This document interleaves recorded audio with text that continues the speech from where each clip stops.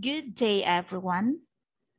We have already learned from uh, my last video that the tendency of a stock to move with the market is reflected in its beta coefficient.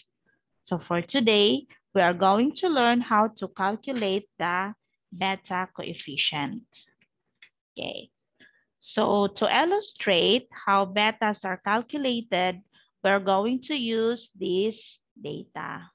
Okay, so for, this is the historical realized returns over the last five years, okay, of the stock in the market. So this from for five years. So that's year one to five.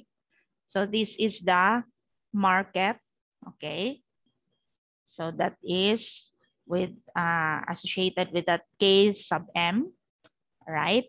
And this is the stock X. Okay. So that's K sub J. Right. So the average is 14.9%, both for the market and the stock.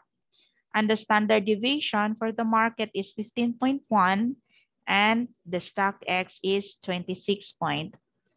Okay. Now let's compute for the beta coefficient. Okay, so first, we're going to plot the data points on scatter diagram and draw a line of regression. If the data points had fallen on a straight line, it would be easy to draw an accurate line. If not, so fit the line either by ocular inspection as an approximation or with a calculator. Okay. So that's it.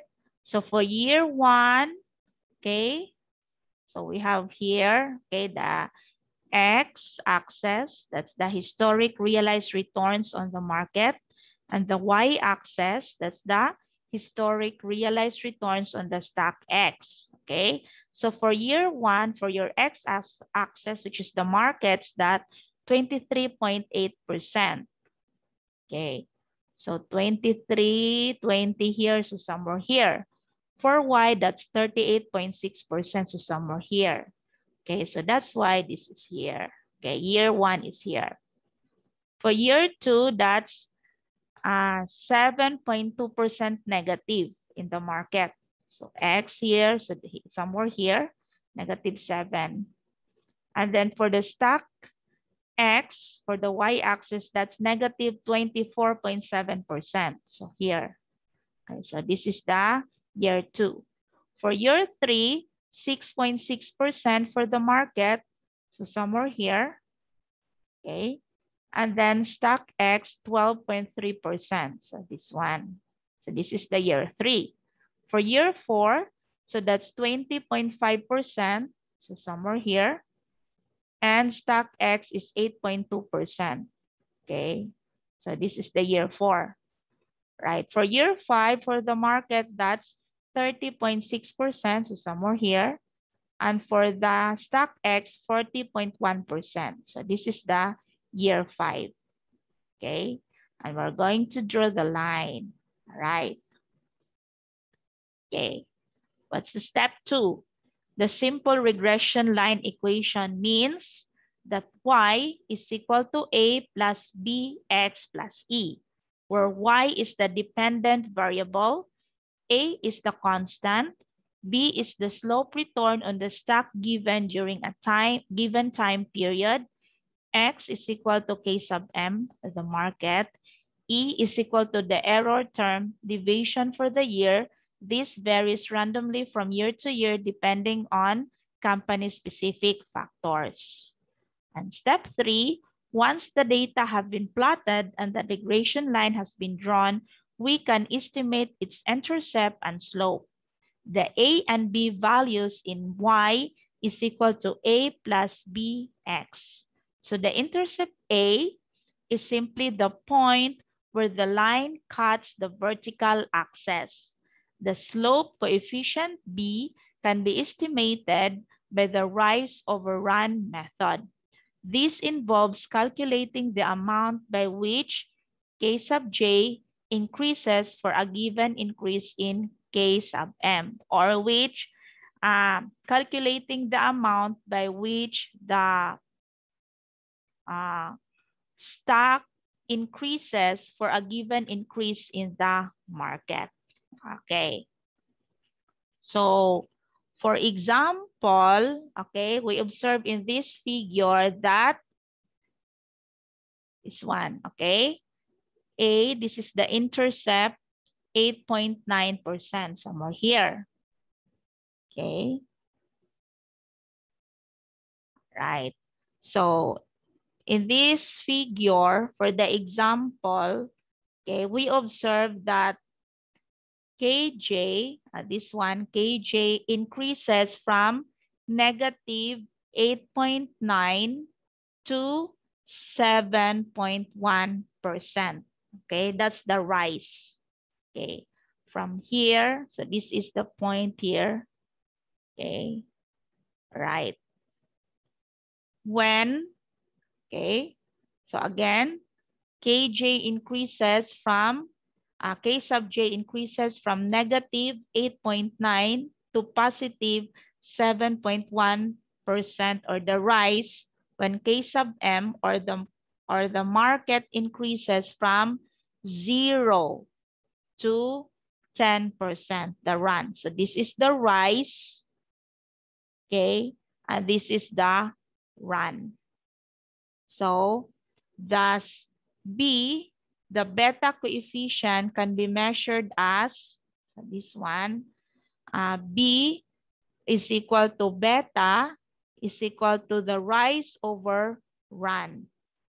Okay, is equal to the change in Y or the change in stock, change in K sub J. Okay, so what's that? This is 16 because 7.1 minus negative 8.9. Okay, that's equal to 16.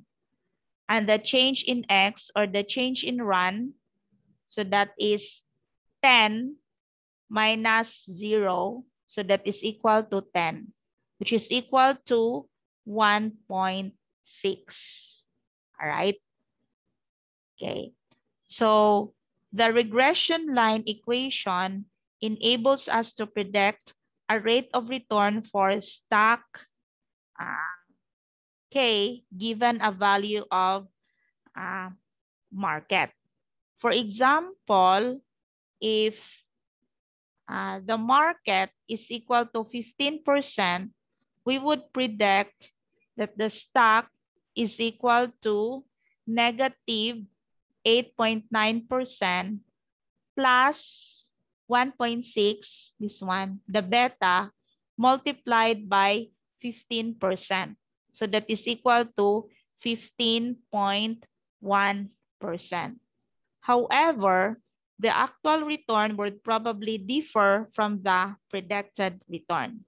So this deviation is the error from E for the year, and it varies randomly from year to year depending on company-specific factors. Okay, so note, though, that the higher the correlation coefficient, the closer the points lie to the regression line and the smaller the errors. Okay, in, in actual practice, monthly rather than annual returns are generally used for K sub J and K sub M. Okay, K sub J is this is for the stock, K sub M is for the market. So and five years of data are often employed.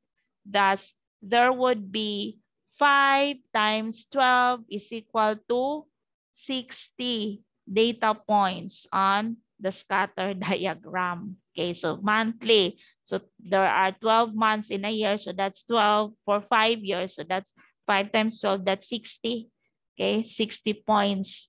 So for example here, instead of just uh, plotting annually, we're going to plot this by uh, monthly. So there would be 60 points here.